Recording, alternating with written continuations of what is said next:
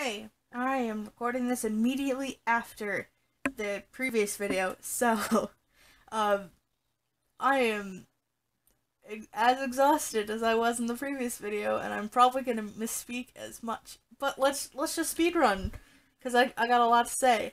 Uh, Coyote Fang, the patriarch, um, because it's gendered leader, because I'm original. Sorry, it, we're we're not even a minute in, and I am being sassed for no reason. Um, Coyote Fang is great. He becomes a leader at the very, very beginning of River Chasing, uh, and he, as far as I know in the writing, because I haven't written that far, uh, he stays the uh, patriarch the entire time, and sorry, I just like gasped and choked for no reason. Um, I I quite enjoy him. I think he he's kind of cryptic. He's hard to understand, but he's he's good. He's a good, well-meaning boy. Sorry, I am choking for no reason. Um, enjoy him. I like his little his appearance. He's great.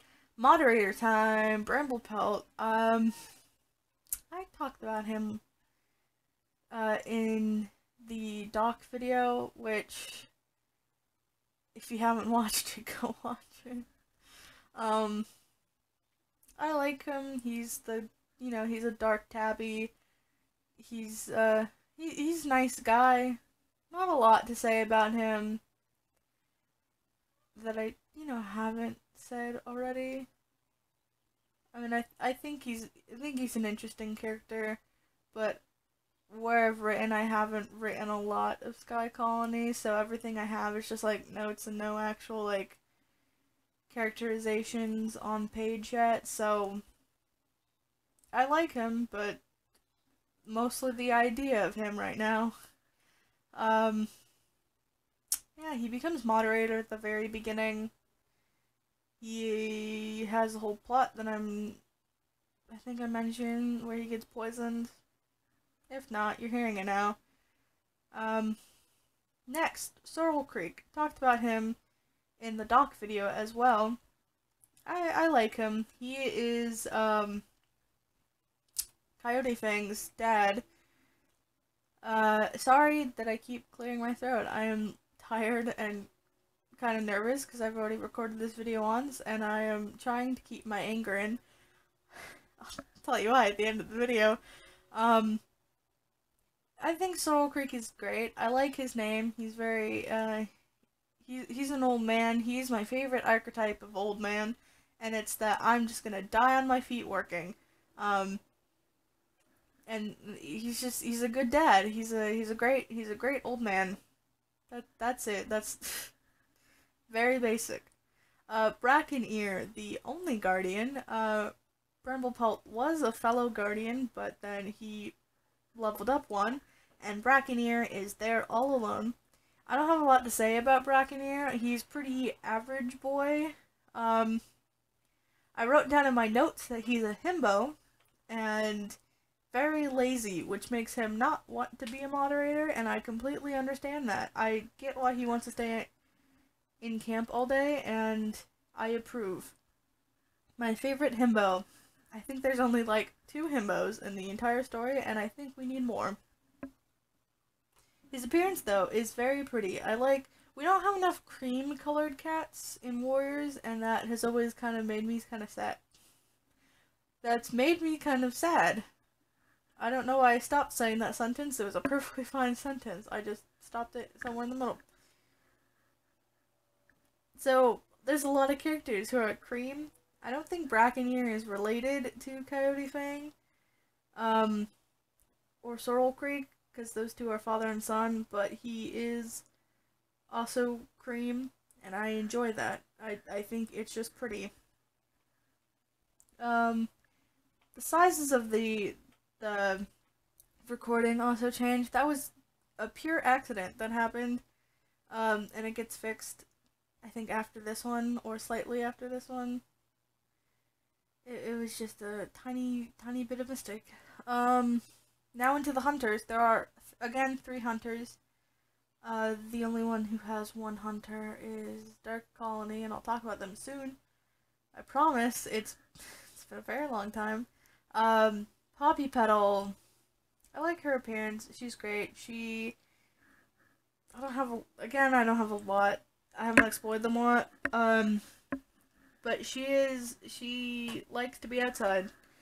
that is her whole personality that I have written down. Is that she likes to go on expedition expeditions. She likes to stay outside of the camp for a really long time, and she loves going full speed.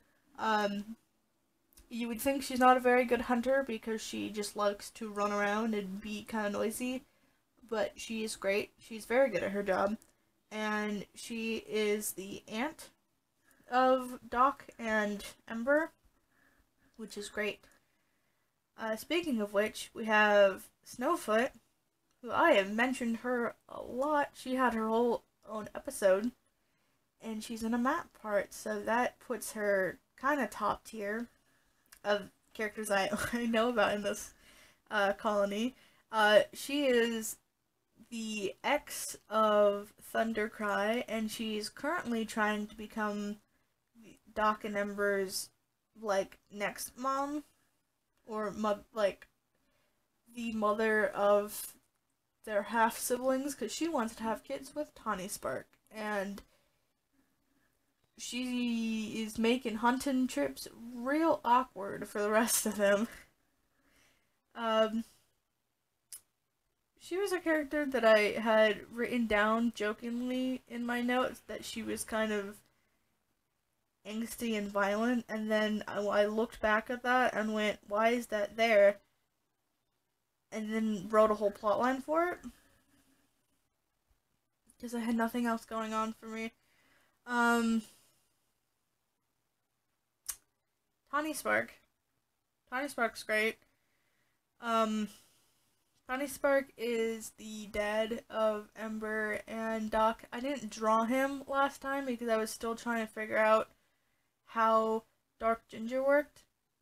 And uh, I don't like the shade that I ended up with. I would change that if I could. But too late now. I would, if I could pick the same, as Poppy Petal, but I didn't realize at the time that I was drawing this that they were siblings, even though I knew that they were siblings. It's a whole thing. I didn't. I, I wasn't paying attention while I was drawing. Which I'll get to. Um, so yeah, he is the one of the other hunters. Poppy Petal's his uh, older sister, different litters. Those two are very close and they love to compete, but Snowfoot as I said, makes it really awkward because she just wants to flirt with Tawny Spark, and Tawny Spark is also kind of a himbo, but not really. Like he's a he's kind of a sports jock. He just wants to hunt all the time and do good. Um, and he likes to mess around with his sister, and Snowfoot does not like that because she just wants to get him to have kits and to make uh, Thundercry jealous, which isn't working because Tawny Spark and Thundercry are friends and don't care. Um, speaking of that family tree, Maple Tuft, who is uh, Tawny Spark and Poppy Pelt's uh, mother, I almost said older sister, which is completely wrong, mother. She is mates with Bramble Pelt, who I already drew. I think she She's marked as light ginger, um, pale ginger. I think that's a little too pale, but I like the color. She's cute. She's great. She's everyone's mom. That's pretty much. She. I mentioned her in the doc video of like she and Bramblepelt were the ones who took care of them after Beach Ear passed away, and that's I like I stand by that. She's everyone's mom. She just she takes care of everyone. That's her role. That's that's all she does. She's just the mom. She she's very good at her job. She's the first of the dwellers and she's the oldest. She is like she's grandma age for warriors, which is not that old.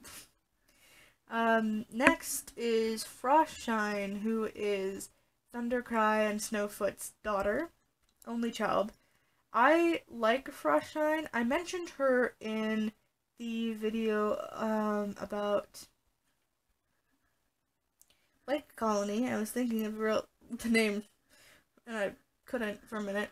Um, because she's the one who always wants to be a mentor. She has very high expectations and wants to meet them all the time. And uh, Coyote Fang is really good at letting her down really gently and being like, "Hey, is it? No one is expecting anything of you. You're great and you're fine."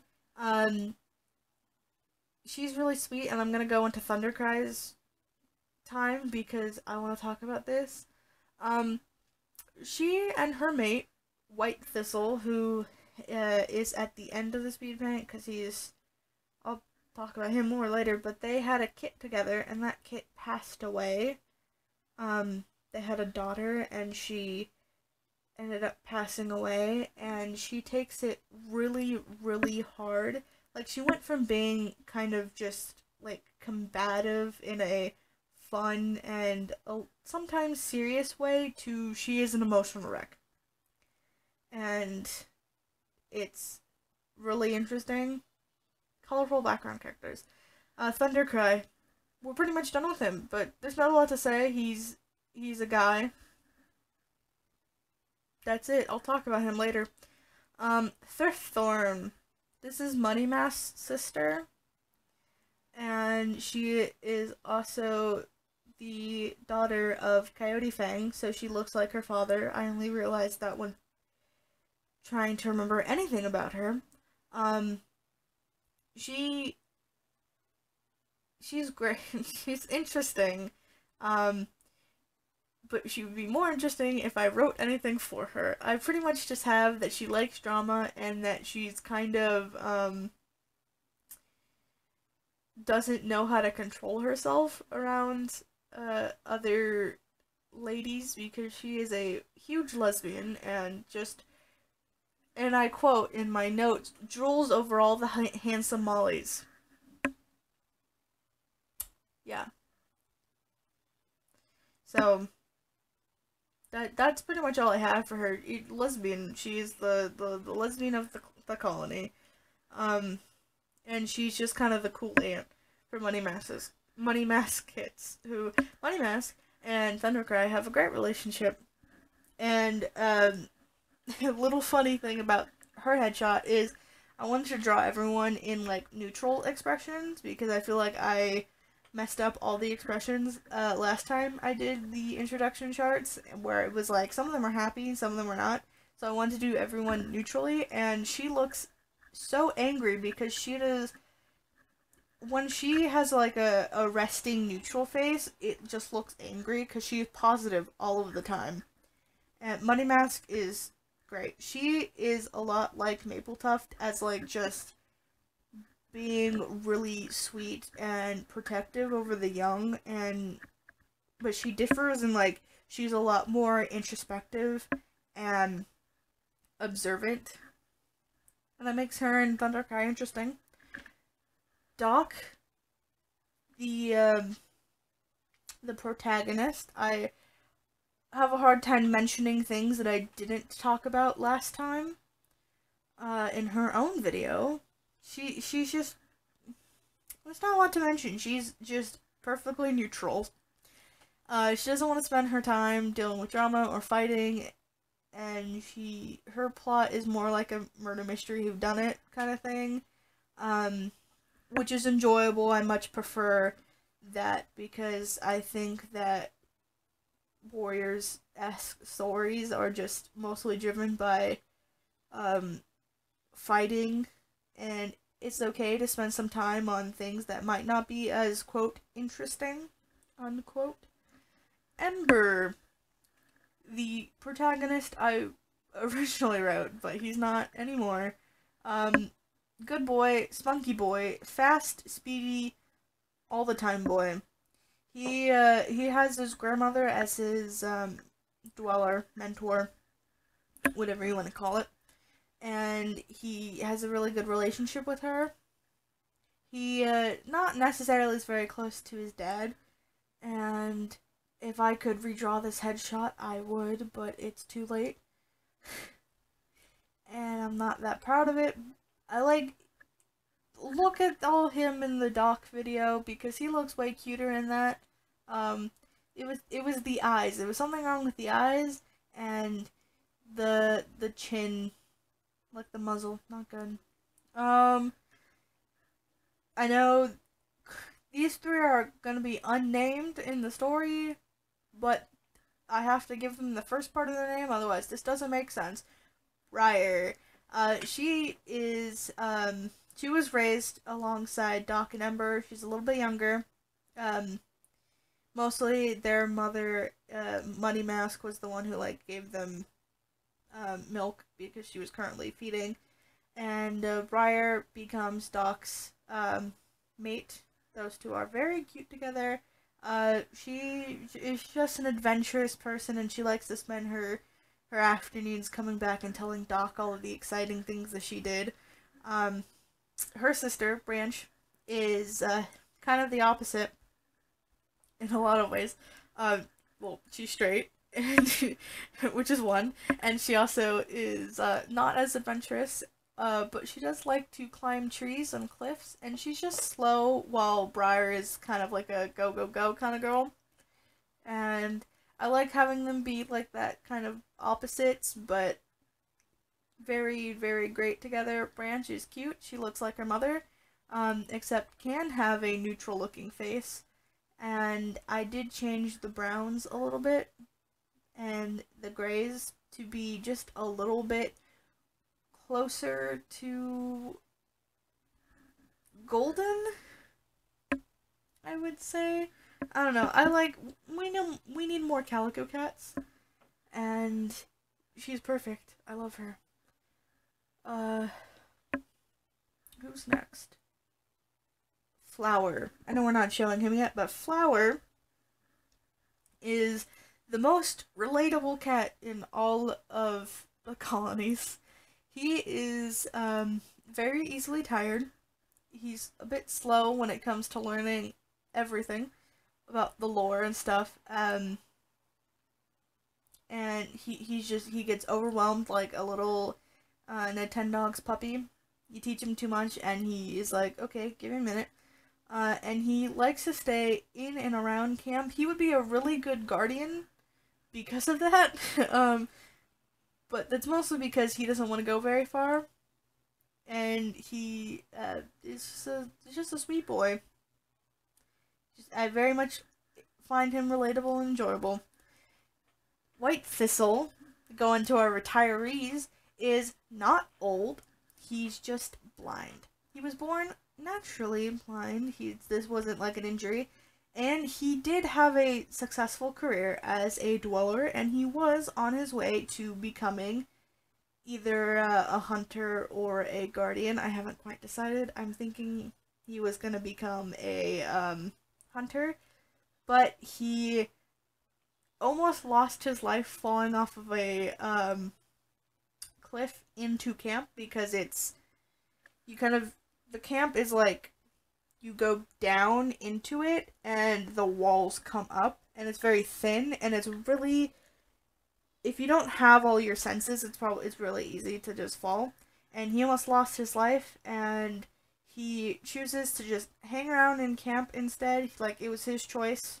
He retired for a reason because he didn't want to worry his mate. And he's great. Um, Cliff Claw, previously Cliff Fang, she retires immediately in the beginning of River Chasing. At the first gathering, we hear that she is retired. Um, she is the old crotchety lady. Um, I say crotchety, but she's really not. Um, she's she's great. She retired because she felt she was too old and weak to make the travels and she wanted to give it to someone younger. And Coyote Fang was definitely younger and all for it. Uh, Coyote Fang also has uh, the suffix uh, of claw. I thought that was really funny. Um, not intentional. Uh, it, it just happened. And she also has a limp on her front paw, but that never stopped her. Like she didn't become a retiree because she was um disabled. Like she was still a, a leader and disabled. She just was old and was like, I don't want to walk anymore. Um, yeah. So that's the whole colony. Now, the reason why this is a month late or longer, I'm putting this out after. Um, so this is probably going on on the 12th, I think, is the day. Uh, is because I recorded this audio on Monday of when this was supposed to go out, two weeks ago, uh, and then I didn't check if the audio had recorded. I just believed it had, and then when I put it in the editing, I put the wrong audio in. Went, haha, oh that's funny. I still have time because I like to put the audio out. Uh, put like the audio and the video and then export it out on Tuesday, which not doing anymore hopefully. And it was the wrong audio. It was the audio for my flame paw video, and I went, "Oh, that's that's silly. I'll just um put the right audio in. I guess I didn't download it properly or whatever."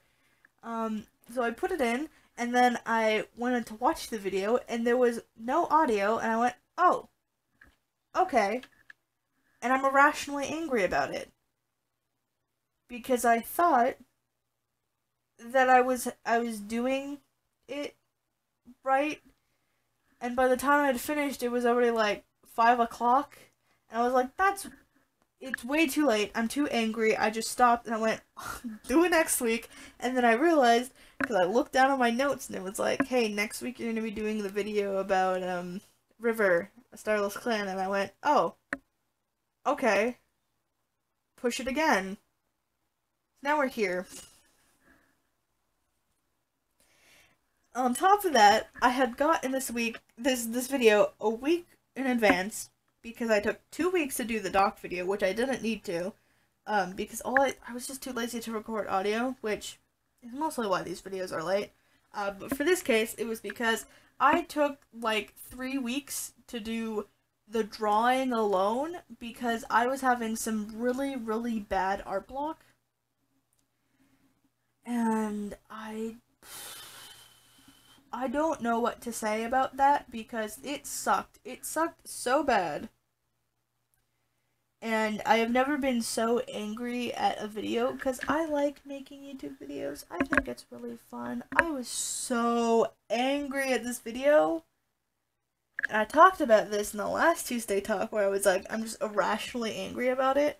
Um, because it took, it just, it took so long. Like, I was doing two of these at a time I literally was on a grind to finish the whole thing, but then I waited to the very end to do White Thistle and Cliff Claw, like, because they were at the end of the list, but I had, like, stopped it while I was already prepared to do them and just put it off for another day, which I don't know why, but I can't do art in that sitting, but, like, so this video took a long time to make, and I'm upset, and I'm sorry it took this long. Uh, next week we're probably doing an emotions chart, or I'm talking about something different. I don't know. It could be anything at this point. I don't know what's happening with my schedule. My notes are question marks right now. Um, so yeah. Eventually I'll talk about how what I think about River, which will not being a Tuesday talk, I think. I think I'll write like a genuine script and then put that out or whatever. But this video is already pretty long and I will get to this later. Goodbye. Thanks for watching. I'm very sorry.